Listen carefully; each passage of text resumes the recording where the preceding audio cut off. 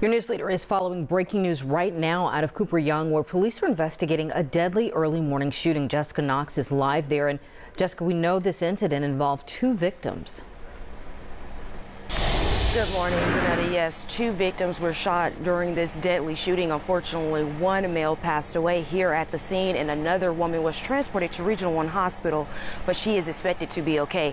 This is where officers responded here at just 20 minutes after midnight. You can see that this home was uh, riddled with bullets. It started here on the patio, and then one bullet went to the front door, and then it came to the side of the home at this side door where you can see up to 12 bullets. Um, was able to go through this side door. And across the street here you see um, female items. You can see that uh, she she had perfume in a purse. She had a lip gloss in her purse. And this is all to be, uh, it's believed that this was inside that female's victim purse I spoke to several neighbors this morning here in the Cooper Young um, area, and they tell me that, you know, this is surprising, Zanetta. They did not expect to see this this morning. They are unclear or uncertain who lived at this home, but this is not what they expected to see in their neighborhood. They say that usually, you know, it's a quiet neighborhood. The news is not here. They're not hearing um, shots in,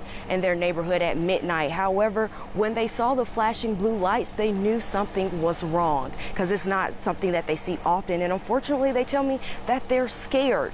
Um, officers tell us that the alleged suspect got away in a white mid. Uh, mid-sized SUV. Now, this is all unfolding on the 2000 block of Felix Avenue. Uh, officers say that they are looking for that suspect, and if you know anything, to please call Crime Stoppers. That number is 528-CASH. Reporting live for your news leader, I'm Jessica Knox, WREG News, Channel 3. Jessica, thank you so much.